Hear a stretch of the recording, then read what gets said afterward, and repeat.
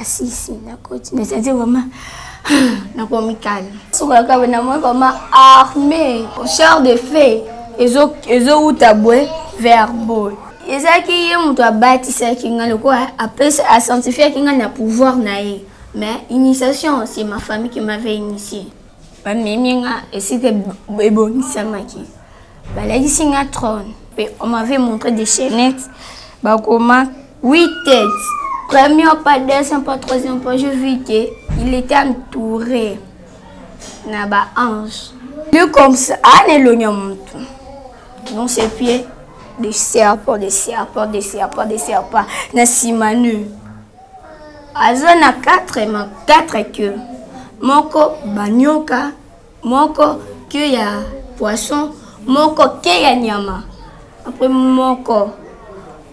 ke ya dees koma na esika azali il faut de, il faut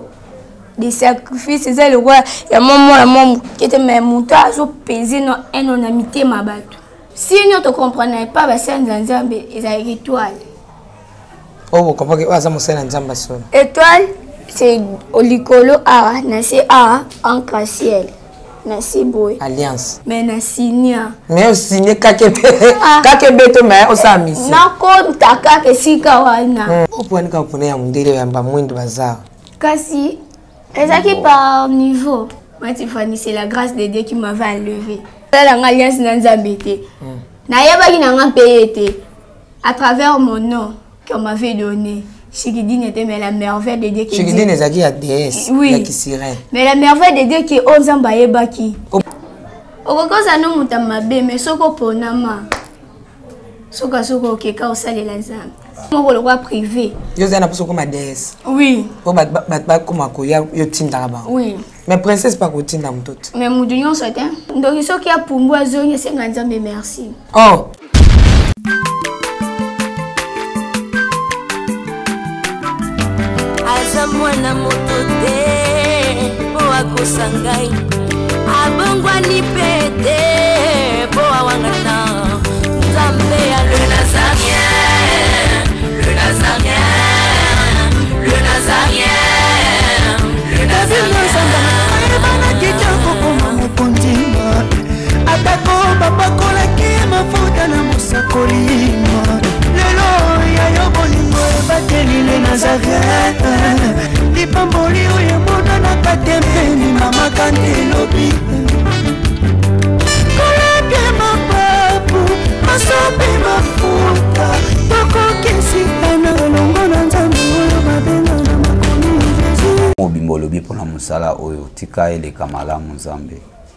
Milimo ya bato ekozela likambo oyo, Seigneur, bazanga te komona yo. Temoignage oyo Nzambe ebikisa milimo, ekangola bato, ebikisa pe tombola les Nazareens. Mm. Na kombo na Yesu, nde na nzela ya etando eke oyo mosala ezoleka Nzambe, tika ozwa lokumu. Na kombo na Yesu, napamboli emission oyo. Amen. Amen. Tout est grâce Jésus-Christ est vivant, il est puissant et il revient bientôt. Bonjour chez vous, bien-aimés dans le Seigneur, très chers internautes. Nous vous aimons beaucoup de l'amour de Christ parce que vous nous aimez aussi. On est la famille et cette famille s'appelle la famille chrétienne. Donc notre famille, c'est la famille chrétienne dont Jésus-Christ est maître et roi.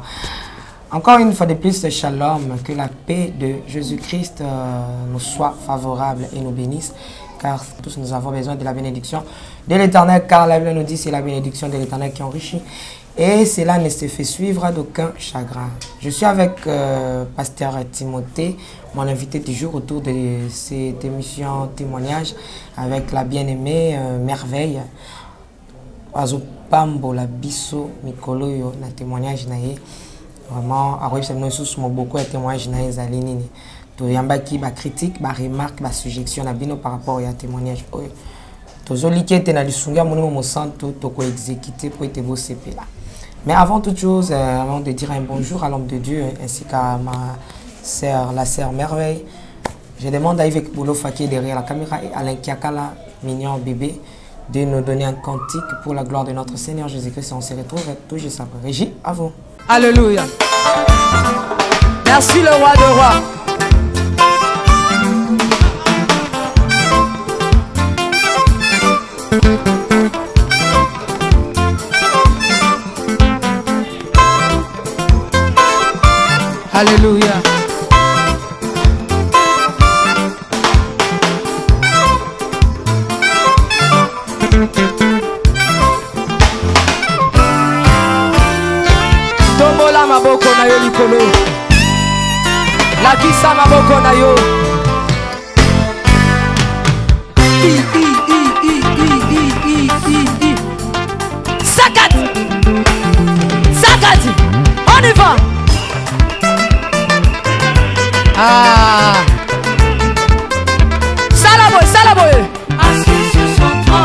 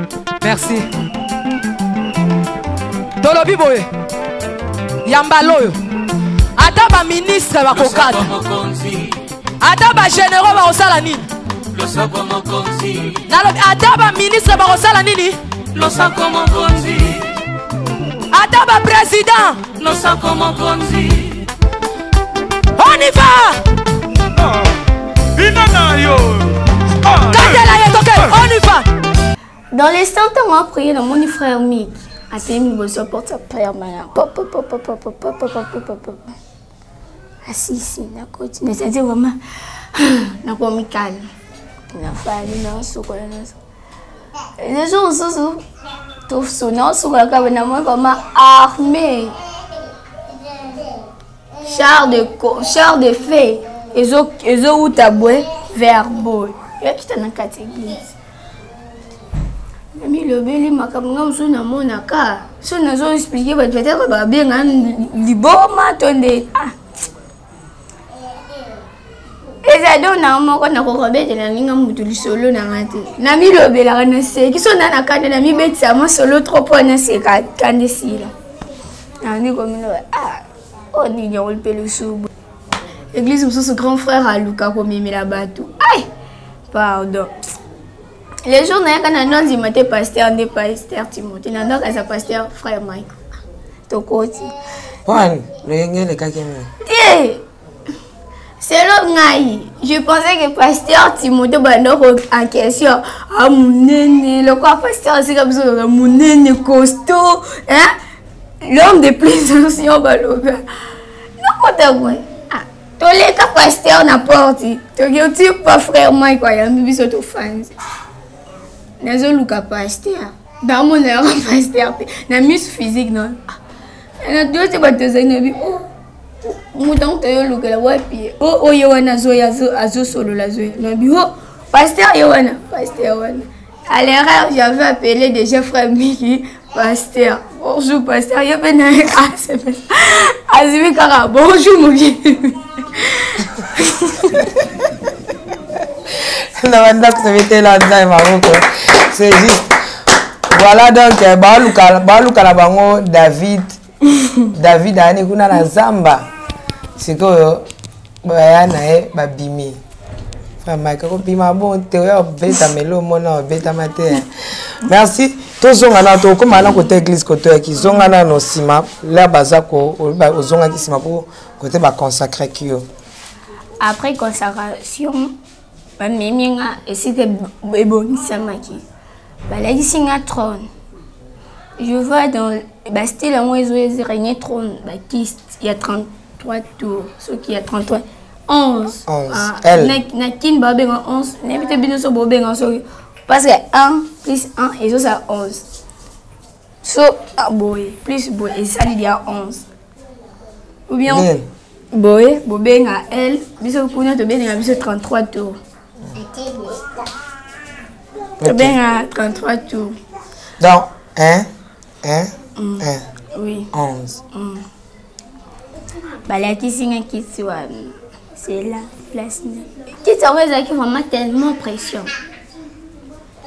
alakisi nga kobanda kofanda awa na moto alati yanga corone jusqu'à maintenant natikala omona ye te na ndo ayoka voi na ye hmm? moto alatisaka nga couronne ye te moto ainitiaki yo ye ezalaki ye moto abatisaki nga lokola apesa asanctifiaki nga na pouvoir na ye mais initiation c'est ma famille qui m'avait initié parce que mais service ye nde moto akei ya lokola moto agani o ame moto mosusu mm. amemi ona église sikoyo kuna na église nde bapaster oyo baponeli yo mpo apesa bateme mpo apesa baenseignement bafermissement donc famille na yo nde bainitiaki yo mais mm. porte ezalaki famille mais baservice mpo kota na trone okoma koexécute nyonso osali ezalaki moto oyo olobi omona elongi nete na ndo oyokaka voi balakisi nga balakisi nga bachainete on m'avait montré des chainete bakoma huit tete na soto yango mboatire te ke ezala huit tete huit tete huit tete eza huit corner yede yesu toza na ye aza on m'avait montré son image mais namona nano personnalité ndenge balayisi nga image ne ndenge aza c'est la puissance de dieu que je dis cela même si j'annonce bana bango suna makasi te Parce que la Bible a dit tout est révélé, c'est condamné. On a le condamné par la prière et par la parole de Dieu. amen amen namoni le comme ça ana elonya motu non ses pieds de serpent de serpent de serpent de serpent na nsima nu aza na 4 ma 4 queue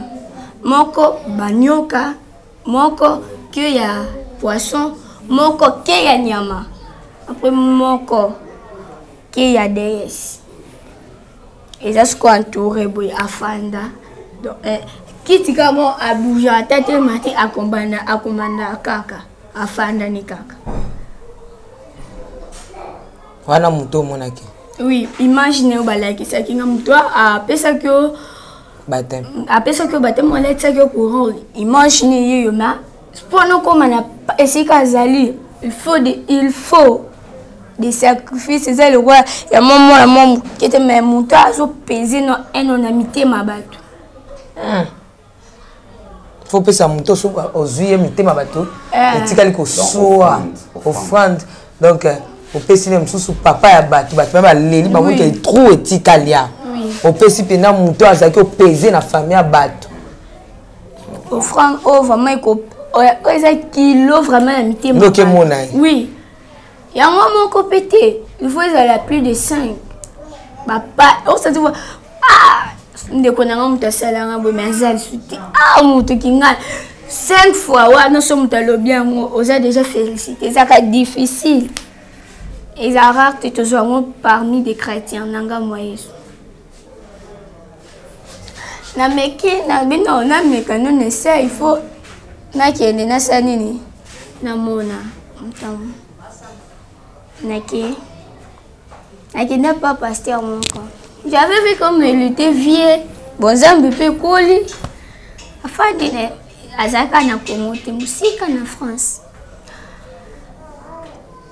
Premier pas, deuxième pas, troisième pas, je vis que il était entouré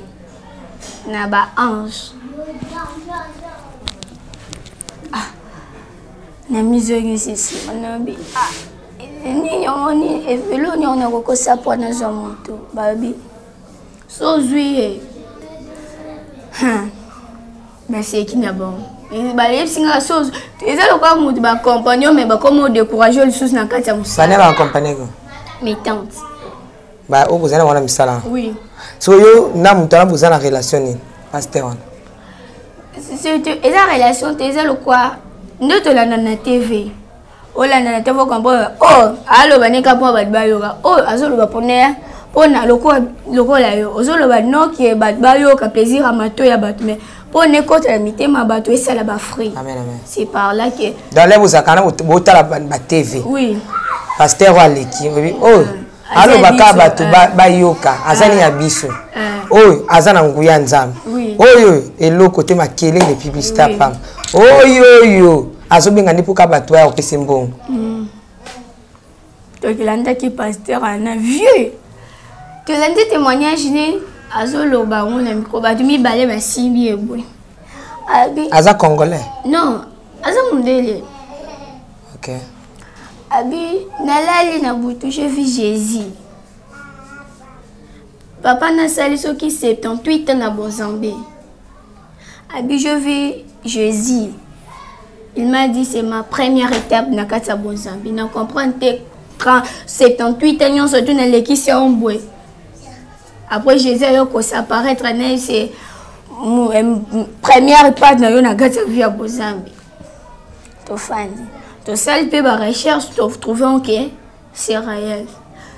osala recherche ndenge nini ba recherche tokende spiritualité toke toke koverfrie so tokuti il y a un signe qui signifie que ça c'est l'homme de dieu pesa signe signe eza lokola moto ma oyo oh, vraimen nzambe oyo oh, nzambe kaka atiaka mpona oyo oh, mpona eklere ka nzela na ye C'était projecteur eza mkoa munkia munkia ka a ah, ezaka mpo na relaxe ka nzela me relaxe nyonso ndeka esika akende al etalise sino tocomprendre pas basali na nzambe ezalaki étoile oyo oh, bokompaki oyo aza mosali na nzambe solo étoile c'est likolo awa na se awa en casiel na se boye alliance Et toi, non, en cassé, laissez. Tu peux nous vers. Vas-tu monter au zoka? Tozo vers. Basa bah, nzamba bah, solo ezaka étoile arc-en-ciel. Bosso kam taka étoile à pamba.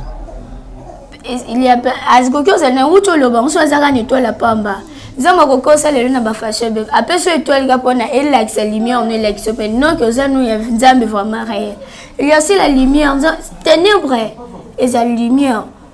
magie blanc ezali soki batye moto ya magie blanc na christ na cree na mokristo différence ezala te même lumière na ye même so oza moto a oyo bamani akenda na ngai nzambe ko eglise ezalaka mpo na eh, bato balobaloba melani okolangwa te bato abongo magie blanc na, na christ na mwana ya yesu lumière na eza ndenge moko bacapacité différent eza lumière epesa ndenge couleur ezala ndenge moko mais bacapacité ekeseni kasi différence te oyebi koningokisa yango yo atinda bato bakende kuna balumière ekopela kaka pembe ndenge euh, batieli biso epa ndeko ive bolofa misi fayo mais soki sikoyo mpo na poa kilo soki tosimbi ya toyoka mpena a ezopese oyo eza mwa awa ah, mefa balobaka boye te mama merveille na ngai leki mwana ngai aza na eclair mm, bo comprendre hein, mais envers aza nano mwana toza kokende malemalembe ok oui toke toverifie tomoni tokota na moi mosika oyo ebima koyekanga mbula moke oyo ezo frappe vraiment na miso tous les soki combien de couleur ezala na kati ezo frappe etoile ezo frappe na milobeli obanda opesa na baelement etalisaki oyo aza mosala nzambe asolo donc étoile étoile arc-en-ciel na couronne sotali na bible na apocalypse balobi le chrétien sera couronne oyo bakosupporte ondima na bango ntina suka bazala couronne couronne na bango so oza expérimenté na kati ya bonzambe parlaki oza dia na couronne ya nzambe bayengengaka oui ezolakisa oui ezotourne likolo na yo okay. avec la gloire de dieu ezo tourner ezo tourner donc kola aza na yo deja olati da couronne elokwa opa oh, eloba bonganga ya nzambe bonzambe deja oza nango ma ekozala manifeste mokolo ya suka okay. o oh, mokolo na yango ya komanifeste yango mpa bana na ye voilà couronne namoni couronne na e, e, couronne en cachet na étoile natelemi liboso ya chambre alobi oh nazomona kaka oyo oh, nazomona to eza baaventure namona nalobi na nameka ya kopose moto azalaki na misu spiritualité j'avais vu personne mais nameki koexekite nakoma esika papa nabuta de chambre ti na salon nakue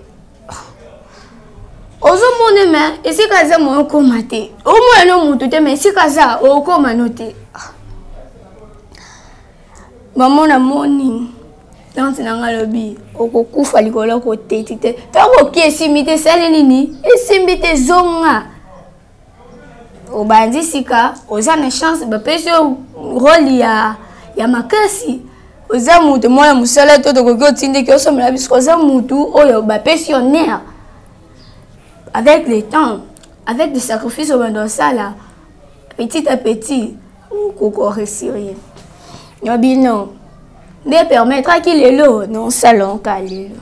soki otala ngai na deside nandimi kaka mpasi na libika wana bo mpasi mpo na nzambe hmm. odeside yango te mondeko na ngai oyo oh, omoni mbula eyindi e eh, mbula bakaki ebomake me ngai na gefa moko oki okufa no mpe kopu okoti na kati so basalo nini oyebi mpe te me mpo nokeka na nzela nzambe bakuluna bazali mokili ekoma makambo ebele hmm, mpo ke église hein? oui soki ye kuta azela ka likolo ka eyinda soki ka eh, likolo eyinda mbula bakaki eh, mbula eh. ekozala makasi ekoboma vraiment bato batole ekopikwama mais na sinia mais osinie ah. kake beto mais osala misi nakonta kaka esika wana hmm. malgre babetaki to ya boso waya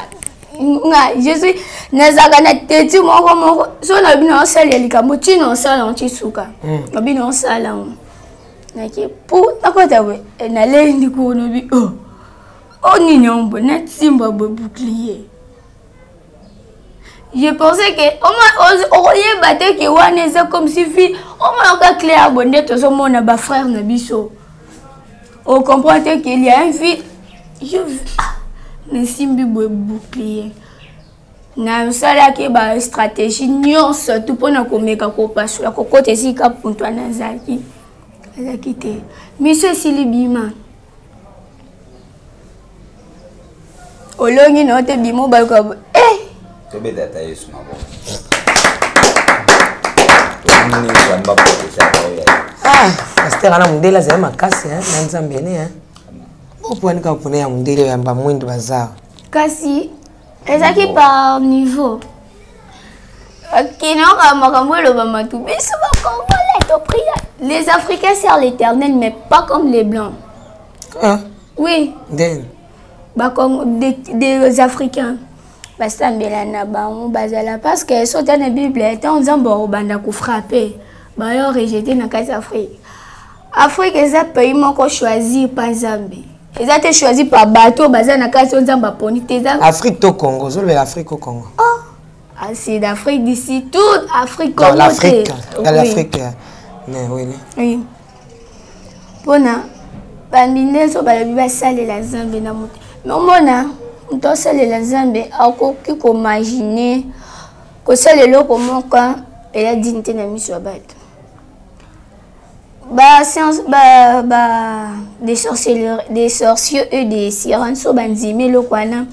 engagement te tozomona yango même si awa ah, pourkui naloba bongo moto akoki kotelema akateli nzambe ve nga naosalela nzambe bwe naosalela nzambe bwe maotikala okokisa yango te j'avais vu un témoignage boye na sur whatsapp pasteur un pasteur na poche eloko eza te baosenga ve bilamba alataki so toteki yango okoki osomba ta lupango basombela eglize eloko paster atelema na shere amoni eloko opesa te amil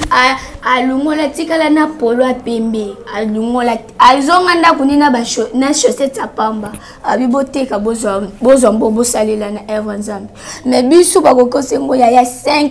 père même 5000 francs 3000 francs ba 10 000 francs papa confinement makambo eza ebele mais tala mondele nzambe aza nzambe ya bofrande eza toya kote moto akaukaka mongongo na ye ozweli yo te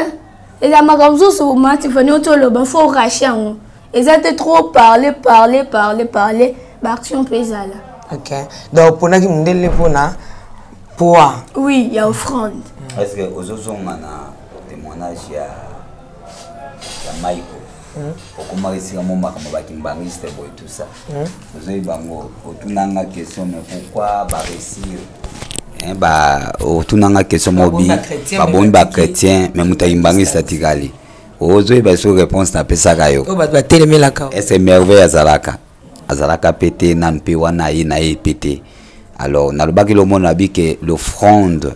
esalaka place na part ya nzambe malgre tolinga osenga yango te pourquoi parce que soki osengi lelo offrande ezalaka lokola neti moto omoni deja bakosikosikosi ye mingi ata motamo mpe mingi asemeseme mpe mingi donc soki oye kaka oyebisi ye bodongo azomona kaka image oyo akutanaki nango mais dawe ya towela nanu motu motu abika mais formule oyo nzambe aza nango ezalaka formule moko ye moko nzambe aza offrande oyo apesa jésus e soki totali merveille mpo niveau na ye mata na monde spirituel baosenge nini baosenge offrande il faut apesa offrande oyo ekopese na mitema bato donc alongola moto moko na famille oyo azopese donc soki totalaka na famille so opesaka donc seke monde ya tenèbre ezoluka yo ozala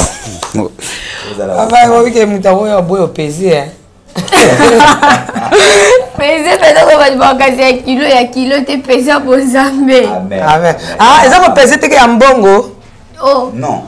pese financièrement spirituellement donc soki opesaka donc il faut olongola moto azopese spirituellement oui physiquement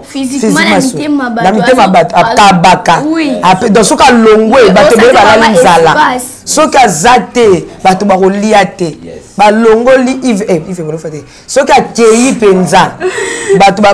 espoir ya bato e, e, ekiti nde bato bino bolonga mpasi mpenza ekoti bomwa ke vide eza eza bato mosusu ata aza te bato bayoka balilo te omoni soki ozopese na vie il faut ça pe makambo epese epa nzambe afin que parce que monde ya ténèbre ntango yo ozotombwama bango mpe baotala yo balongola yo mpo basala sacrifice oyo bango baomatela alors ngai moto akomata epa na ngai nga mpe amen amen amen voilà mais euh, sœur merveille okepa mondele wana ozalaki wana olongi ye non na meki meye bafaso nyonso to moma waya eboyi na bino nazonga na nga kaka na baluka na nsima oboye eh, entouré na mimoni mwa eloko mwa moke badepose na kati ba, ba... des géants ebe eh, sikoyo tala kote obuki eza lokola contre mur bato baentoure bo yo na kati lokola baflo yo na kati hmm. na mituna ya milobeli kaka soki nayokaki na ngai ntame na ye ti nakomi ntina niveau te Atelemi. Papa, je dis la grâce de Dieu. Si tu es appelé de Dieu, n'est-ce pas souvent nous avons plusieurs moyens pour manger. Donc, on a tabou état. na mama na mimoni lokola mwana ozotala bato boye hmm. eza te nde na mono boye otala bato boye matifani na fani lokola mwa eloko mwa babaposa otaka bato boye Ma Tiffany, c'est la grâce de Dieu qui m'avait enlevé. okoki ozana moto ya mabe me soki oponama soki asoki okeka osalela nzambe omoni etape oyo naleki nango ezalaki formation mpe éducation nzambe banda koyediki ngai na bonzambe bien aimé dans le Seigneur, tout est grâce. Dans toutes circonstances, nous ne pouvons que rendre grâce à Dieu. Le 13 octobre 2020, C'est ans, jour pour jour, les Nazariens Télévision, votre chaîne chrétienne sur YouTube, commémore son 7e anniversaire. Oh, Alléluia, Banazambe, Shalom, Shalom, Shalom, Nabino Nyonso, la partout dans le monde, le 13 octobre les Nazariens, et Kokisi, 7 ans.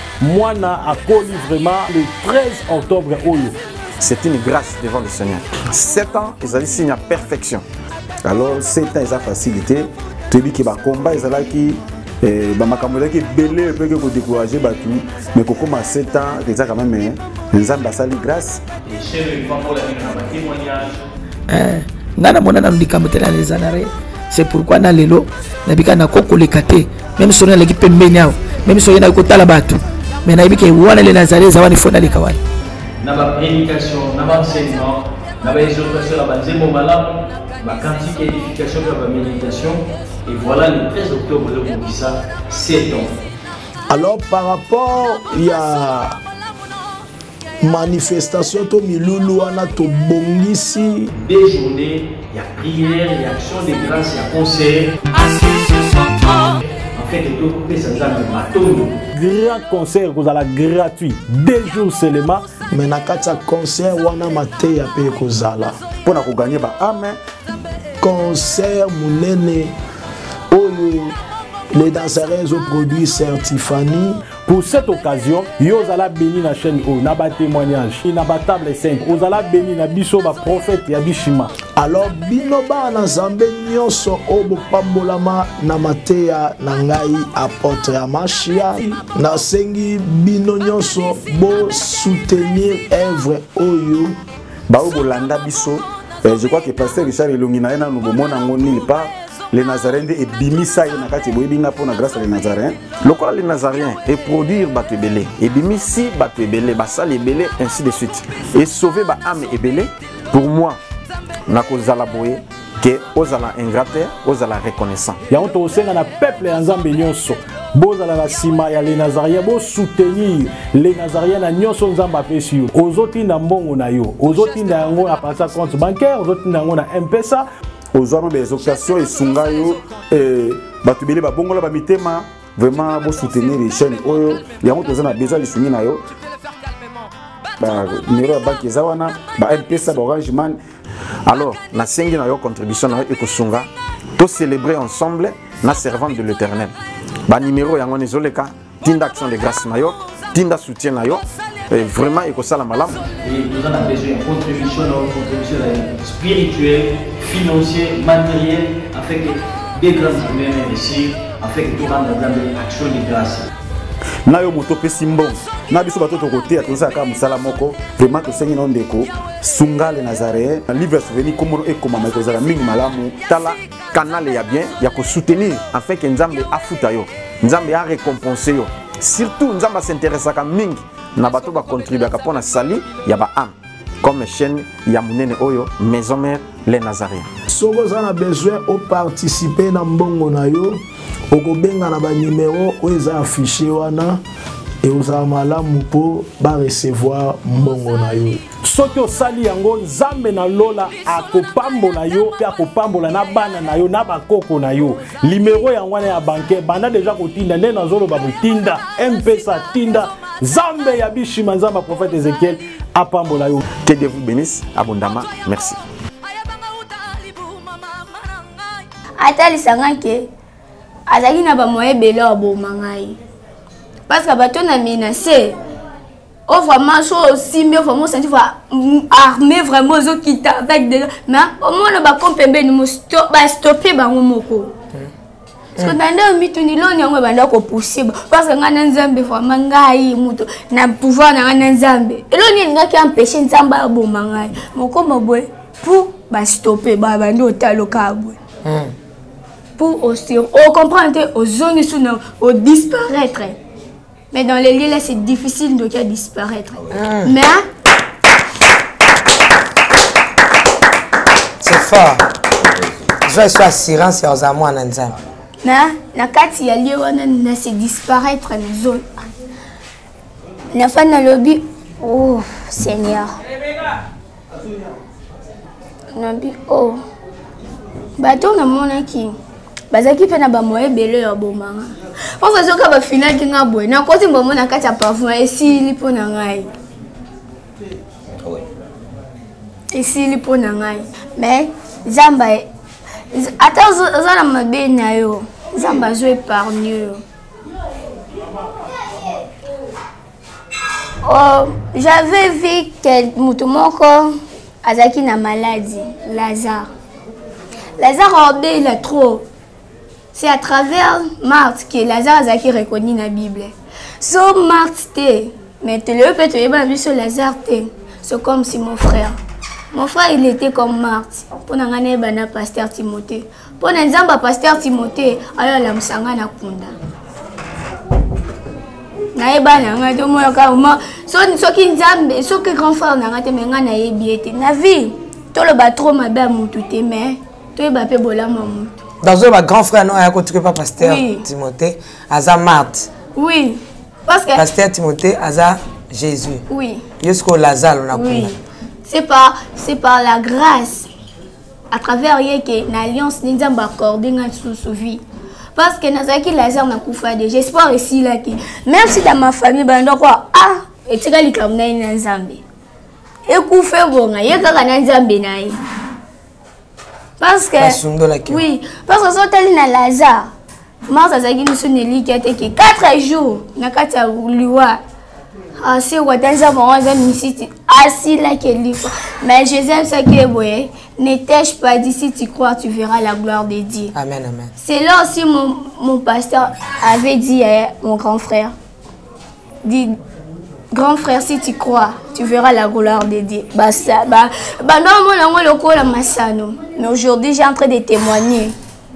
La grâce de Dieu et la bonté de Dieu. Amen, amen. Il est là en bonté et riche en colère. Pourquoi on a dit ça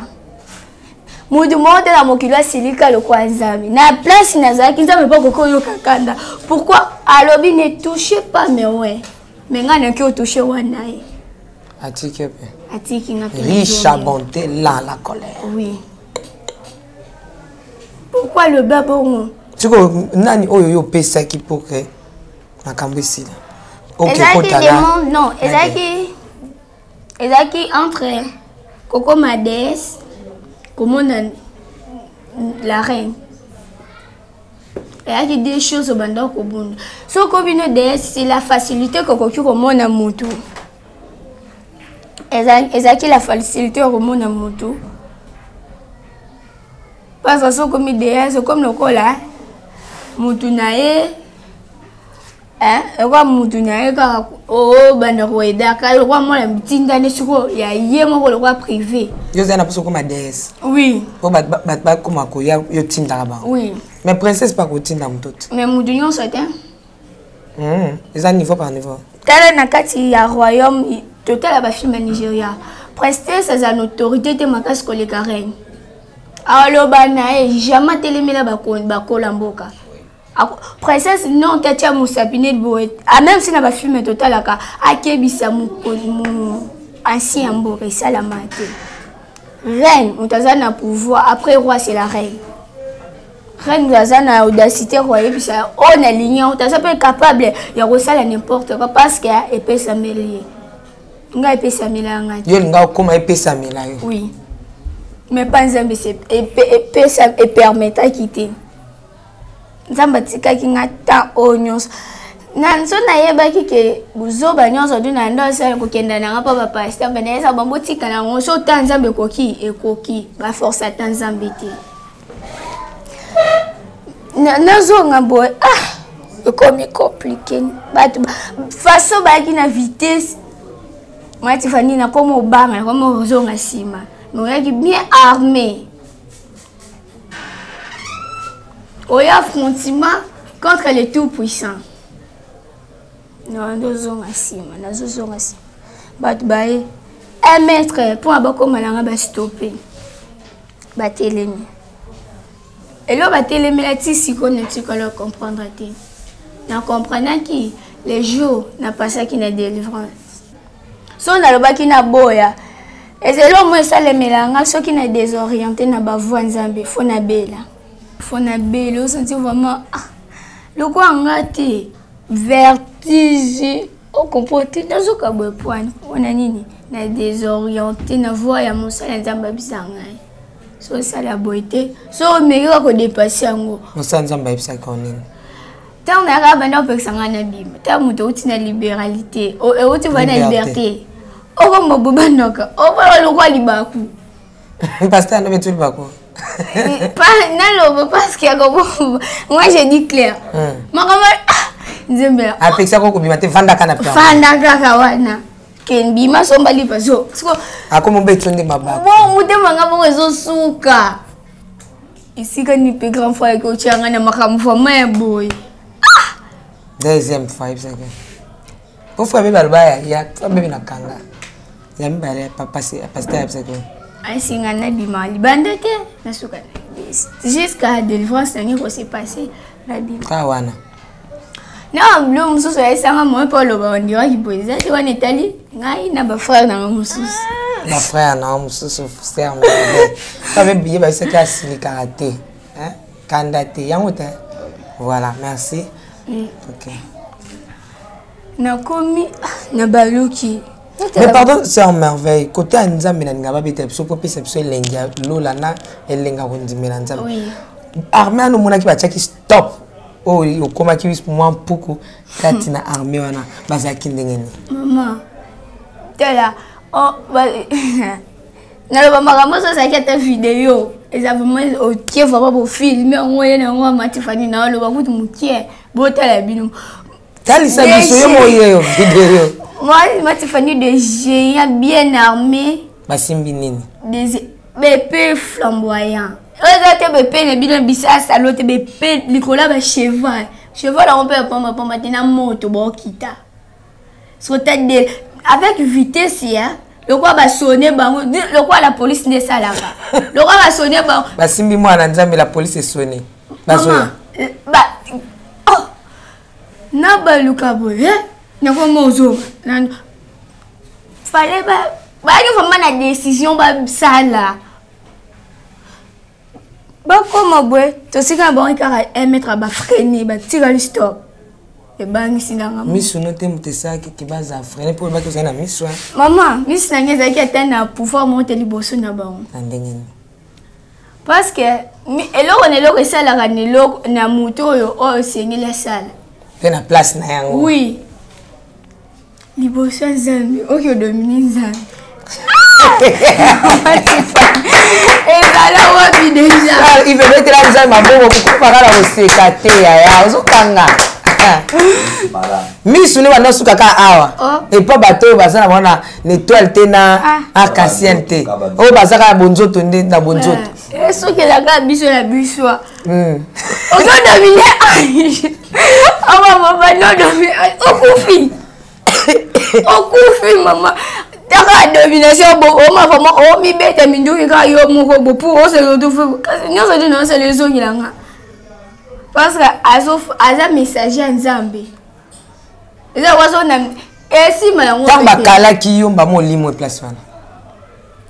nazwaki temps olimwa nde ni mama puissance nyonso esili okomi neutralise zoba otelemi ka eloko ndoki ya pumbe essence esili akwesi ko mama telema te okomoka soni bage ba neutralise mama kokita na bango na ndro wana j'ai été déjà neutralisé kaposi mbe pasteur ana mundele toloba mpe pasteur ya mundele ntango mpe akiti bouclier elongwe soko kote oyo bouclier elongwe nazomona paster kote okoprevoreyo banda oluka paster ye wana bafongoli bouclier kota okende kobundisa paster to omova arme ezotala yo boye bouclier kote mpe limwe nango pasta oyo balobaka moto anda aluka ye soki okende so oza mpenza mwasi atembe yo nde moto abakisi kende osimba ye mati fani na telemi na telemi papa yango alali na ye okanisaki onction ekomi mokolo onction ekolaka te papa na mpe alali na ye ah baarme arme arme bayaki vraiment boye eza nde boye balemisela nga boye azwaki ya papa mama na banda olinga mpe naloba ya sigle non bakombo nyonso ti tobenga to bapesa bana ekri ya pa nzambe oma buta bapesa mwana nkombo ya mpasi mpo neganga nini mpa nzambe kaka mpasi yango naloba la merveille de l'éternel ecriaki misikana mm. so ozalaki nkombo na ngai te mpasa ngai nasala na ngai na nzambe alliance te na profita na nsima motu nzambe asalela ngai nasala na ngai alliance na nzambe te mm. nayebaki na ngai mpe ye te à travers mon nom qu'on m'avait donné. Chikidine était mais la merveille de Dieu qui Chikidine ezaki ya déesse oui. ya kisirène. Mais la merveille de Dieu qui o nzamba yebaki. Ko papa na maman apesa kala. Oui. Yango egangaki. Estope ba. Nzamba osalela pe bolama kale. Nzamba atalaka mutu te pona salele bolama, atalaka te bozwi na yo so alinga salela ndoki. Yango nalobaka eloko moko ndoki soki apumbwa azongi esenga nzambe merci. Oh. Oui. ndoki oui abimi aye non bongo mpe te ndoki apumbwa osali bato abe azongi asengi merci mama na nzambe donc banda ofanda lopango wana bacrimine bacrimine ava bakende bafukamba yaya boya tosambela tata tokende mondoki ezwa biso te bakanga biso te na la polise mpe sepso makasi ya mbango amen azalaki mpe na kapasité ebele amazini me pour akwei mais ayoki losambo ya ndoki ebongo yo moto osalela nzambe ayoka yo te pwani eza devoir moko soki osambela na motema mobimba asalela oyo nyonso toli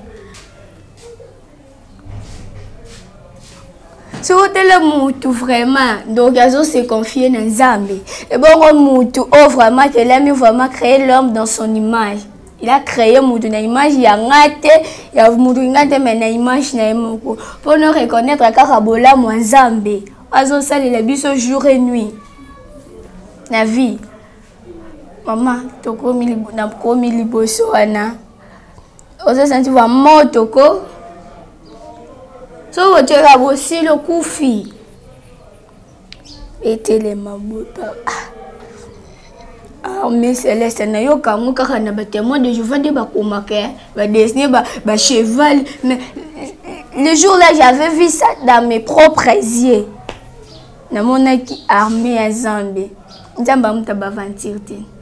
yango nazoyebisa motu to aluka asalisa nzambe baaventure à travers message ya lelo arrete yango mpe kaka lelo parce que le jour kanda ya nzambe ekotomboka bible ekuti eloki lukela moninga na yo motu bokose repare mais so olukeli na nzambe ose repare na nani osali yano bomabe ayalimbisa a moto alimbisa mai mpa nzambe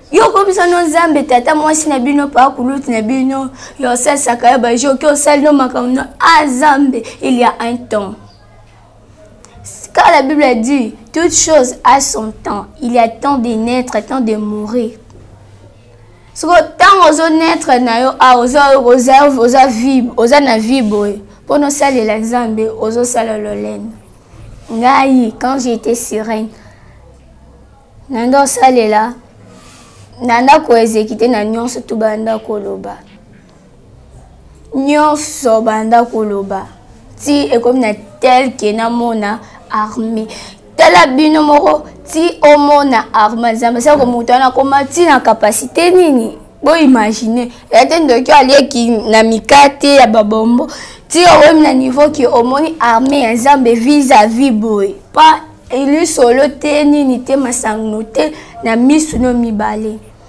bien aimé soki oza vraiment moto vraiment balobaka eh? oyebi makambo concerne nzambe pratique le parce que omoni ebele bafandi na bandako o oh, zamba lola abundisa o nyonso te bazobuta ngai ntango na ndako okende komiba mission natala moto nayike priere nde soki nango na degre o naozelova sisi priere ne amen na amen nsima natali degre so eza vraimen na degre eleve na osala te mais bachrétien ebele okoki omona chrétien azoprie makelele bakitiakatiaka mpamba kaka bato bayokake moto azosambela me moto azosambela te eza ke basando moto akosambela okanisa ke nazalaki na problème motu moko nazalaki na camarade na moko toswanaki na ye ne se pas cela ke nzambe azali kolinga nakutani na arme wana force yango nyonso to esili nayeba te anga soko basali bona basi vandi na ntika lokola nzinzi kaka liboso ya vere ya lotoko nazotelengana kaka boye mpo naye kosi disparaître abimi liboko la kiti merveille batant topesaki yo odeborde il faut amande amanda yango nini baavortement belle sœur na ngai lokola nde bajournaliste basala bapesa limite même si biso moni eloko oki osala boye bacalcule leo eza mpo na temps boye mpo na temps parce que so ye il y a une autre mission ke baopesa lisusu nadiraki vraiment na esika wana wumeli vraiment eh, eh, yango na nakompona te bato baluka opeseli nzambe engagement oki opesa nzambe explication ndoki azoyoka explication te bongo nzambe ah. ndoki azoyoka explication te limbisa ngai nasala yo boye esalamaka te mais baforce yo te moto mpe te aforce nga moko nakei mais bakatelaki nga ntango nazo ifo nafuta mani parce que na désobéir na maloba nzambe mais biso nzambe azopesa biso azoprivilégie biso na makambo mosusu tomona nzambe lokola nzambe eyuma nzambe ayuma te osaleli nzambe likambo boye mpo na nzambe asalelo boye e papa limbisa ngai nakutanaki na makambo moko e papa soki nzambe no te abosani ke tolimusa mama moko mbongo boye azwi asomba bakiti ya rouge ba marque moi rouge eza 25000 francs asomba 15 kiti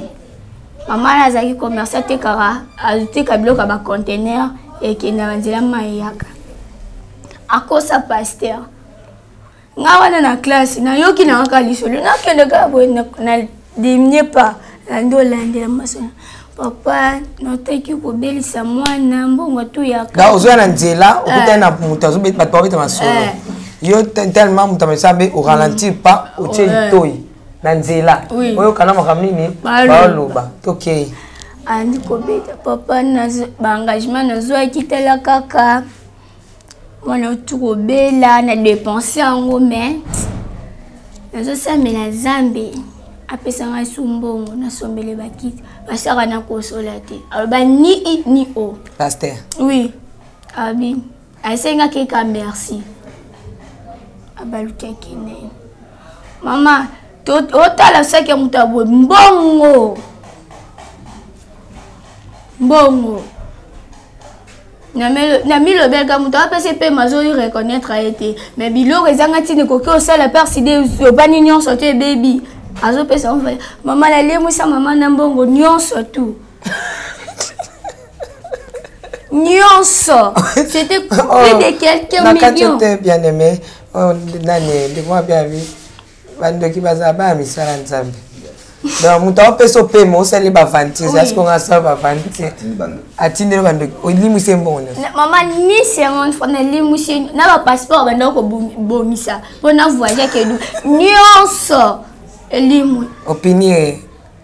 a respecter moto apesa pema te nzambe ata nzambe so alinga punir moto so otali pa job nzambe atinda ange te atinda diable kende simba me molimo ne te quelle révélation papa mama mama zela no tobetela nzambe maboko pardon donc nzambe po aniata eh, atala bolingo na ye mpo na job mm. atinda mwana nzambe te atinda ange te atinda diable oyiba ye mbongo nyonso oh. parceke nzambe ayebisi satan kende me kosima motema nete nzambe akoki kotinda akoki kopermettre eloko moko parceke atala asengaka yo te volonta mama na moko esali ke natelema nasalaka 15 16 elobela yango elo te tika nasalela nzambe mama nakenda akatani epa engagement namilobela pourkui etombaki ngai nauti classe nazonga bango mpe na lisola nasaki ezalaki volonta nzambe mama je te dis la nyonso quelque azalaki soki moko ya 5 contenaire azalaki nango na seki nyonso to ekei na baoyo bandaki kobongisa bapasseport oyo nyonso te ezalaki importe kenya eki ofrandi na part oyopesi engagement na biso ya 100 dollars bazwi yo soki 30 000 dollars nyonso voilà mpo alingi opesa nzambe explication ekomela mpe bate papa eh, papa limbisa papa mikolo vraimen nazwaki na ngai mboko mai mboko opeke na oka ngai na mopepe bonoko eke opeka na mopepe soki okontinue kosalela nzambe na motema bien te mama nazwaki na nga mbongo me bano nde bamonaka bakomonaka mpe mbongo na esaki no te bamonaka poche vide mama biso akende ateka eloko ateka eyebana ate ya kaka mama nateki te mbo ateka me mbongo emonana te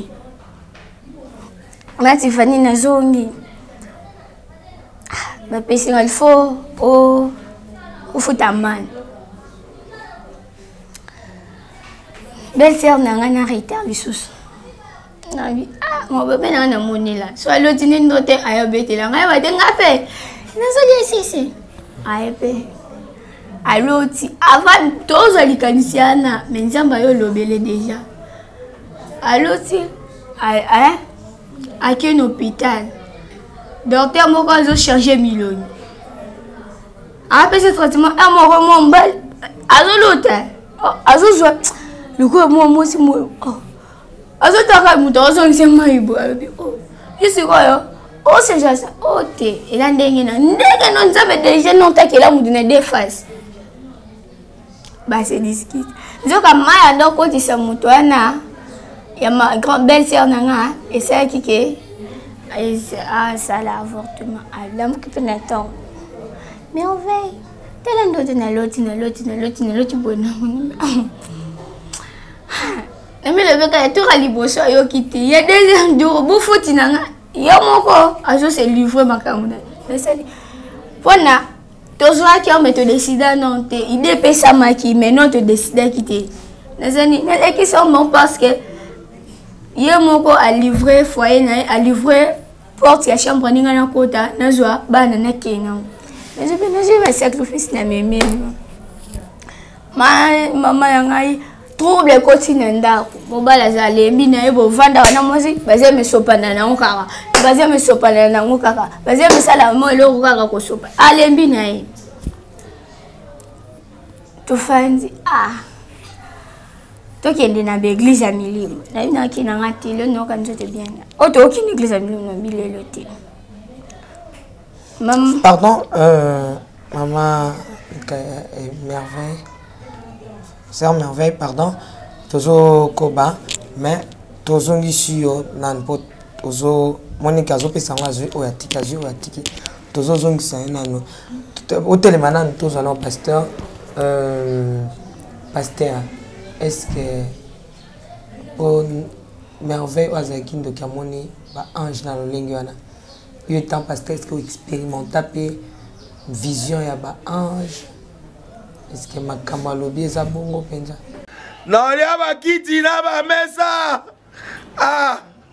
ata nyau kondoko namona yo natya yo na mwamba na minite oyo nakata mpe na katikati ya saki ya fufu oui aloes koti bonjour boni eloko te oyebi ke ya moto yango aotravaille te mikolo oyo donc nde toza wana yebisa yo galère na niveau zero tosala boye Eh, ngai naza na mbongo vraiment mingi te mais nazotyela bino mwa moke oyo naza nango na agence moko boye nazareta Sarita qui dit sérieux oh. mambo ekoma nde bongo donc yo opesa ofuti mbongo kuna partir ya poto biso toyaka tozwi biloko nabengi ya scoti agence moko efungwami nkombo nango nazare eh! nakufi eh. agence lisusu nakesa su molongo kuna eh, kuna eza mambo molongo te ye esi afuti mbongo kuna partir ya poto biso tozoki korécupere biloko ya olie atika ah, boye ko oh. yo so omona makambo bongo na monde bato bapesi mbongo kuna bino bokerécupere biloko ya olie na agence ezalaka me yango ebandi mama leki na ngai ayebisi ngai me nandimi te nalingi namona kimona mbeso mpo likambo boye na monde nani esalama te mama yebisa ngai bapesi mbongo kuna biso torekipere biloko ya kolia awa ya solo butike nazareta ezali butike oyo ezali ya distribution ya baproduit alimentaire ah! tosali mpo tosunga bandeko oyo meme baoyo baza na peu de ressources komeka boye te bandeko yango baza na niveau ya kinshasa meme avec un petit rien donc à partir ya 10 dollars 15 dollars donc soki ozana na mbongo te ndeko no na poto akosunga yo awa ozwi kaka biloko ya kolia Hey, eh, mama nazareta nzambe apambola ye abakisi mikolo ebele awa na se na mokili ebongo awa toza wapi mpo toyeba adresse awa ah, boutique nazareta eza esika ya kobunga te toza sur avenue monkoto numero 1 direction elengesa face, euh, face à face na église catholique saint vincent ah, direction elengesa monkoto numero 1 afase ya église catholique Ah, c'est ça, l'école. bongo numéro ya telefone boza nango te richard boza nango boza na trois numéro pour paris boza na numéro mpo na suisse boza na numéro mpo na spain ah! non non non non non nazareta nzala na kongo esili julia nga nakangisaki ya fufu eh, ya mode yo bandika na fufu oui mpo na nazareta toa na systeme ya mbimbi na mbongo ya shingongo mbongo moke ezala esili yo sérieux